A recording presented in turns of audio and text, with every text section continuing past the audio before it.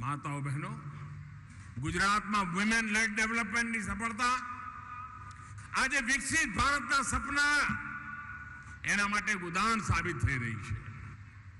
આપણે ગુજરાતમાં જે યોજનાઓ બનાવી, જે અભિયાન ચલાવ્યા, એ બે હજાર ચૌદ પછી આપે મને દિલ્હી મોકલ્યો, તો જોડે જોડે અનુભવનું ભાથું પણ આપ્યું.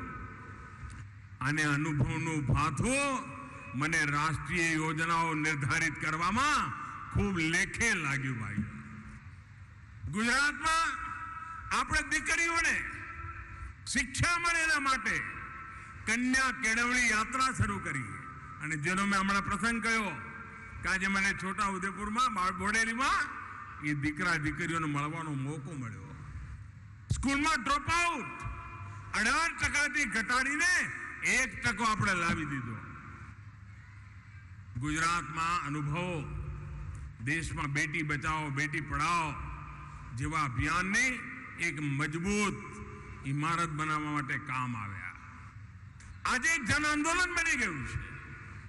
ગુજરાતના સરદાર સરોવર અને મા નર્મદાના જરીએ માતાઓ, બહેનોએ જે પાણીની મુસીબત હતી, સુજલામ સુફલામ યોજના હોય તળાવો ઊંડા કરવાની વાત હોય ચેકડેમની વાત હોય વાવડીઓ ઠીક કરવાની વાત હોય, એક સાથે બધા અભિયાનો ચલાવ્યા.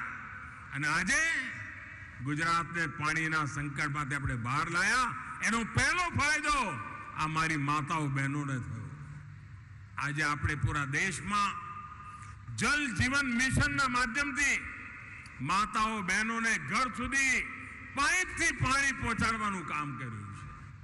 ગુજરાતમાં આપણે પાણીની વ્યવસ્થા, એના સંચાલન માટે પાણી સમિતિઓ બનાવી. અને ગામડાની આ પાણી સમિતિઓ, એમાં ઓછામાં ઓછા પચાસ ટકા ભાગીદારી બહેનોની હોવી જોઈએ. અને મારો તો અનુભવ છે, જ્યાં બહેનોને જવાબદારી સોંપી, તો પાણીનો વેરો વસૂલ કરવાનો હોય, પાણીની વ્યવસ્થામાં કે ટેકનિકલ પ્રોબ્લેમ આવે તો એનું સોલ્યુશન કરવાનું હોય, પાણી શુદ્ધ મળે એની ચિંતા કરવાની હોય આ માતાઓ, બહેનો પોતાના દીકરા, દીકરીઓની ચિંતા કરે ને, એવી ચિંતા ગામના લોકોને શુદ્ધ પાણી મળે, એના માટે કરતી રહી છે. જલ જીવન મિશનમાં પણ આ જ પદ્ધતિ. મહિલાઓ ઓછામાં ઓછી પચાસ ટકા ભાગીદારી અને એના દ્વારા જલ જીવન મિશનને જમીન પર ઉતારવાનું કામ ચાલુ છે. એના કારણે ગામની વ્યવસ્થા, પાણીના સંચાલન સમિતિઓ આ મહિલાઓની સંવેદનશીલતા એમાં એક તાકાત આપી રહી છે. અને બહેનોનો આત્મવિશ્વાસ અને નેતૃત્વ ક્ષમતા, એનો આપણને ડગલે ને પગલે અનુભવ થતો હોય છે. એ જ રીતે આ સમય આખા દેશમાં મહિલાઓ દ્વારા ચાલતા સેલ્ફ હેલ્પ ગ્રુપ્સ, એની પણ ખૂબ મોટી ચર્ચા છે. આ સ્વયં સહાયતા જૂથો આપણે ત્યાં ગુજરાતમાં સખી મંડળો કહે છે. દેશમાં આજે નવ કરોડ બહેનો એમાં જોડાયેલી છે.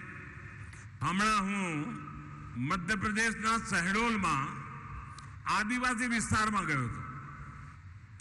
તો આદિવાસી વિસ્તારની જે આ સખી મંડળીની બહેનો હતી, જે સેલ્ફ હેલ્પ ગ્રુપની બહેનો હતી, એમને મળવાનો એક કાર્યક્રમ હતો.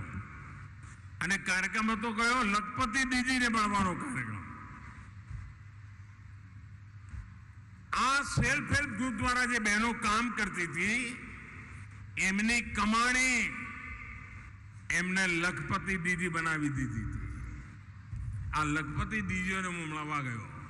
અને બહેનો, આદિવાસી બહેનો, જીવનમાં ભણવાનો બહુ અવસર મળ્યો નહોતો, પણ એ વિમેન સેલ્ફ હેલ્પ ગ્રુપ એટલા સરસ રીતે ચલાવતી હતી.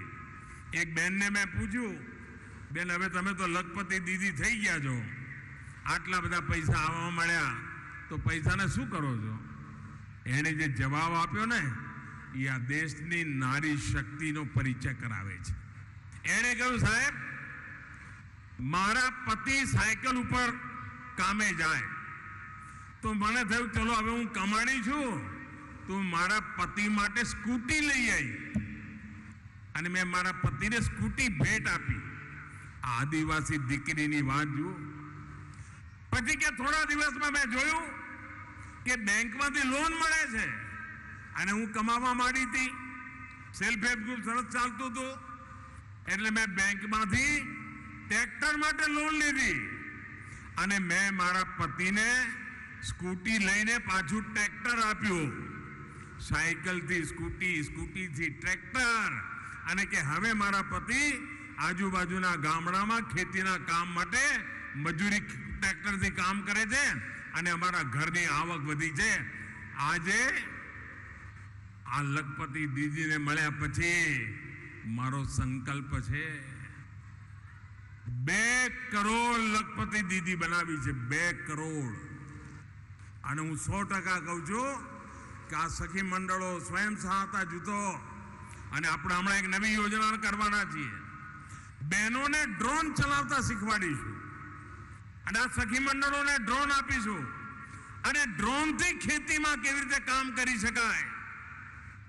ખાતરની નો છંટકાવ કેમ થાય? દવાઓનો છંટકાવ કેમ થાય? અને આ સખી મંડળો ડ્રોન ટેકનિશિયન બનીને આજુબાજુના ગામડાની અંદર ખેતરોમાં આધુનિક ખેતી કરવાની દિશામાં કામ કરવાની છે. આ મહિલાઓ ગ્રામીણ અર્થવ્યવસ્થાને આજે નવી તાકાત આપી રહી છે. આવી અનેક સફળતાને મૂળમાં ગુજરાતના જે સખી મંડળ અને કૌશલ્ય સભા આવી યોજનાઓના કારણે શક્ય બન્યું છે. એ જ રીતે ગુજરાત એવા કેટલાય કામ છે જેણે દેશમાં મહિલા સશક્તિકરણ માટેનો એક મજબૂત રોડમેપ તૈયાર કર્યો છે. ગુજરાતમાં જે યોજનાઓ શરૂ થઈ આજે દેશની કરોડો નારીઓના જીવનમાં ખૂબ મોટો બદલાવ એના કારણે આવી રહ્યો છે.